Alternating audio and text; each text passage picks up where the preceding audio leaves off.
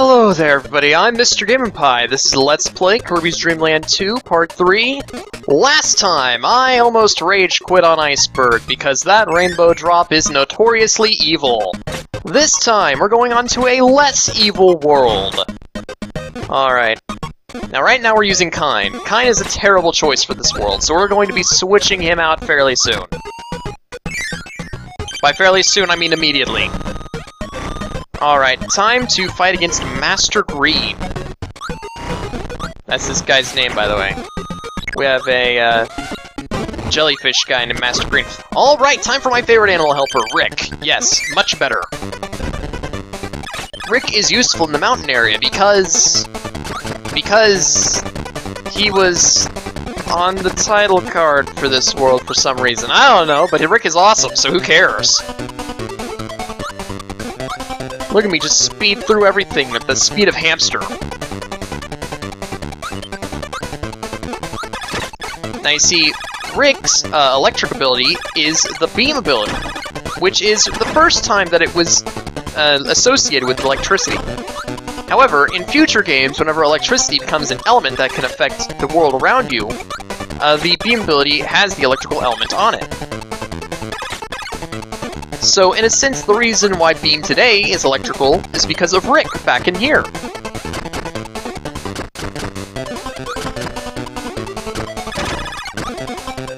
Now, animal partners are bigger than Kirby, so they can't just fall through or squeeze through one block. They generally need two block space.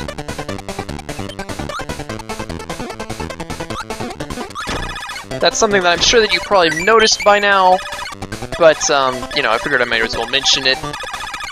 And Rick is adorable whenever he's using his electrical abilities. Then again, Rick is a hamster. He's always adorable. Except whenever he can't fight against a Shotzo. Fortunately, the Shotzo has no interest in actually shooting me, so it doesn't matter. Faster than a speeding bullet, Rick the hamster escapes the cannonball shot.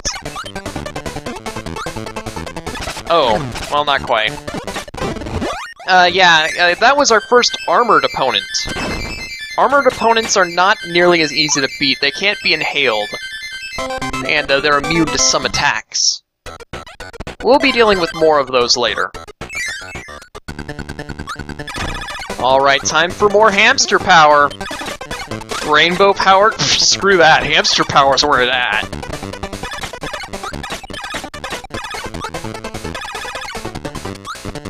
Nothing has anything on this guy.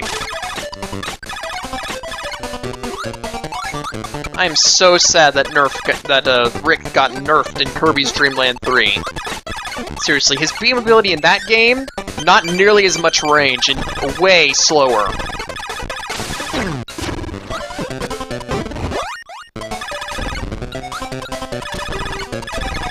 Yeah, I think I'm just gonna shoot my star at this guy, because this is not doing much much damage at all.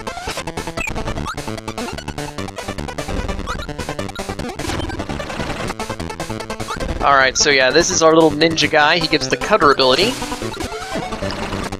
I remember back whenever I first played the game, I was terrible at fighting this guy. And we get gooey, because we already have Rick.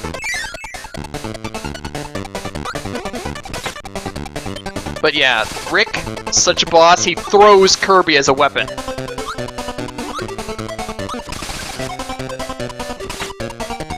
It doesn't even really get worse underwater, it just sort of, it's now underwater. But we are in a keep moving section, and this can be rather difficult. Especially since Rick's underwater mobility isn't exactly the greatest. Just keep attacking everything off screen. Also keep moving. For the love of everything hamster, keep moving. Oh no, I have to leave Rick. Goodbye, Rick. We knew you well.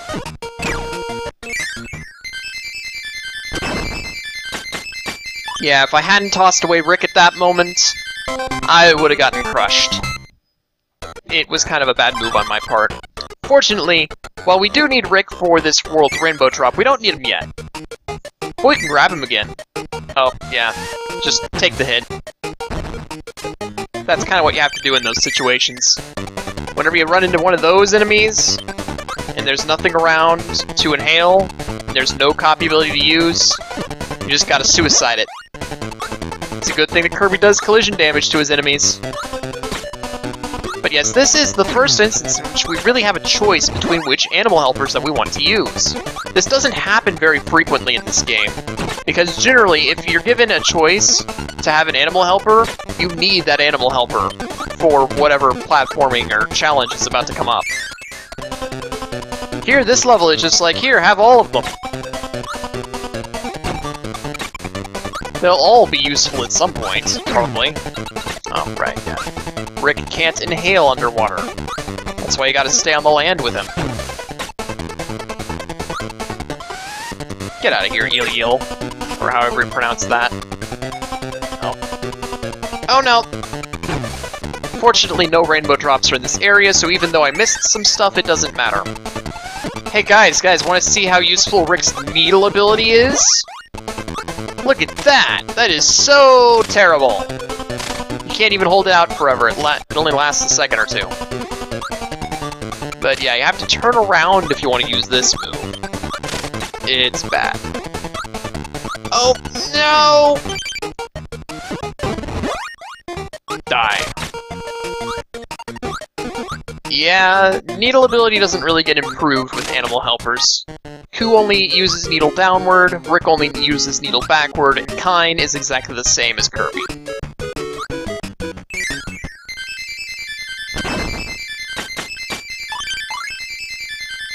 We go. Also, an animal helper's health overrides Kirby's health. So if you lose your animal helper, you're left with whatever health you had whenever you originally picked him up. That was weird. Kirby's bounce made it so that I couldn't jump back up. Anyway, I think we're gonna need Rick for this level. Because this is the level with the uh, rainbow drop in it. This rainbow drop is kind of a breather compared to the previous one and the next one that we'll be getting. But it's still fairly difficult. Yeah, as you can see, the propeller does not attack me because I do not have an animal helper. Alright. Here we have this guy, the captain.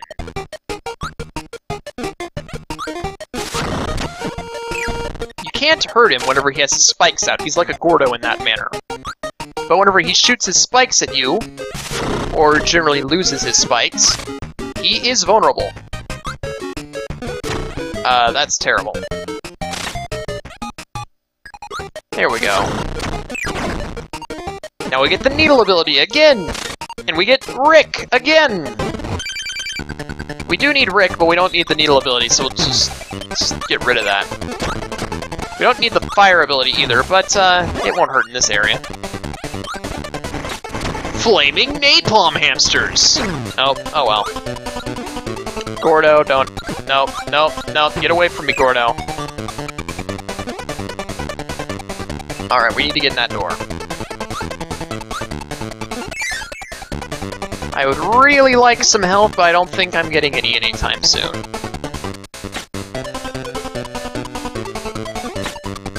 Also, while regular Kirby can duck, he can't duck with any of his helpers. Which is kind of strange. I might die.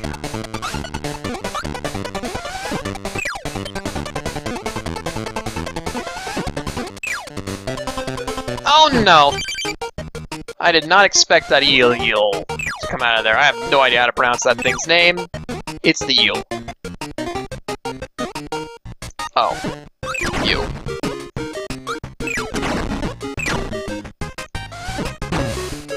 I am just being careless right now. This is bad. Real- Oh, wait, no, we don't need Rick in this level. We need Rick in the next level. Never mind. I'm being ridiculous again. I don't know if we'll get Rick in the next level, though.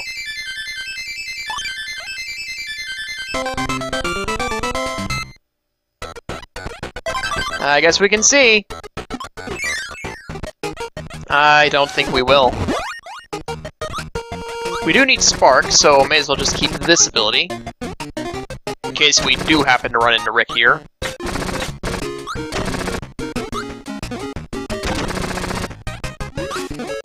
Ah, oh, what? You gotta be kidding me. Oh yeah, Kirby can um, spit water in different directions whenever he's on his own. Can't do that with a helper, for some reason.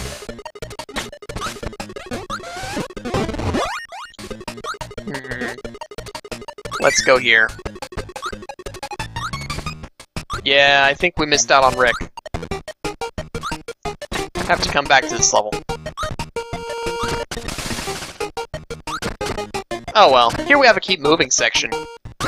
It's cool.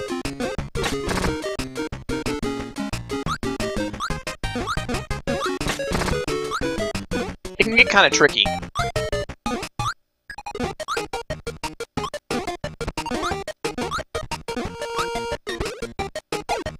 As you can see here, I am barely making it and I'm needing to use the ability to fly. The power of flight, as given by Lady Palutena. Oh.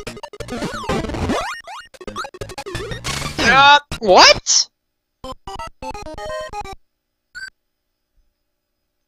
That was weird.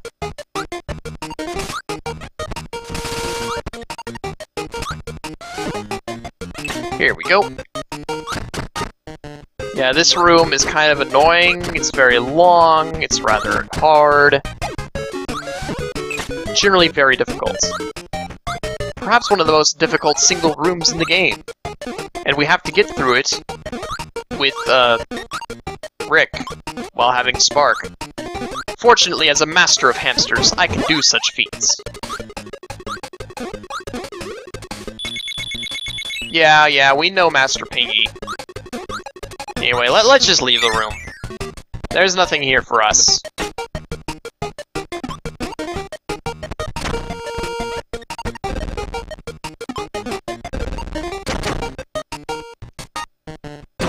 Oh, you can't keep the umbrella out forever. That's weird. Anyway.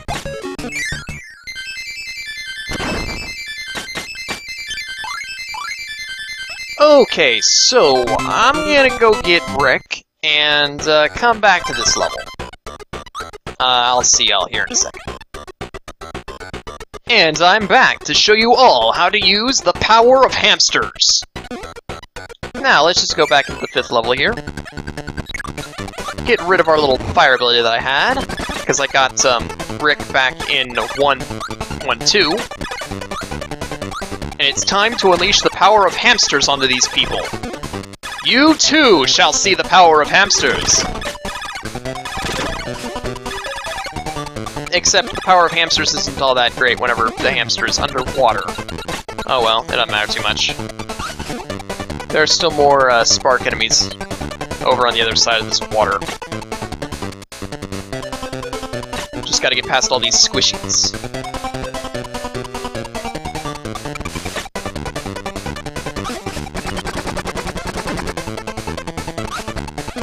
Here we go. An electrical hamster. Well, hey, I get a maximum tomato in here. Anyway, this is the... This is running into an electrical enemy. This is the correct way to go. Uh-oh. Uh-oh. Uh-oh. Okay.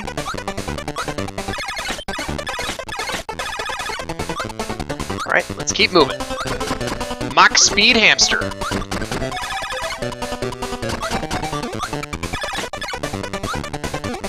Fortunately, being the faster character, Rick can get through this room, the horizontal segments anyway, fairly easily. It's the vertical segments that he isn't so good at.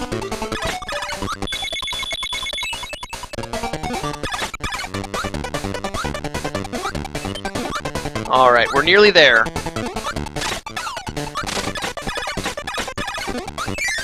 Very good. Now, as you can see, the reason why we need our electrical ability here is to get past these. But not only those, but these as well. And then we need to throw Rick away. Because he can't make that jump. There we go! Alright. So now we have the bosses of this area, Mr. Shine and Mr. Bright. We're gonna be fighting them as Kirby alone. Oh, well, that was unexpected. Uh-oh. They're using their Solar Eclipse attack! The Solar Eclipse attack is very dangerous. Don't get hit by it. It's basically a screen clear. The only safe spot is the shadow that uh, the Moon character provides. I can't ever remember which one is Mr. Shine and Mr. Bright, so yeah, that's why I'm not specifying. Alright, we've defeated the sun, now it's time to defeat the moon.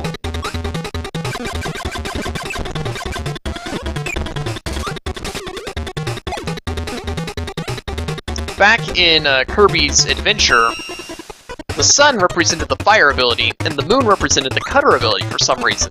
You can still see this as he, as he still throws cutters at you. You can't actually get the cutter ability from his moves, though. Nope. Stand in the safe spot to remain safe. I like to think that the sun's energy actually reflects off of the moon, and that's why it can actually create a screen clear. And that's why the shadow is actually necessary for them to use their attack. Alright, Kirby doing the dance. Good job, Kirby, you kicked some butt. Alright, next time on Kirby's Dream Land 2, we go onward to Cloudy Park, the land of owls and fish.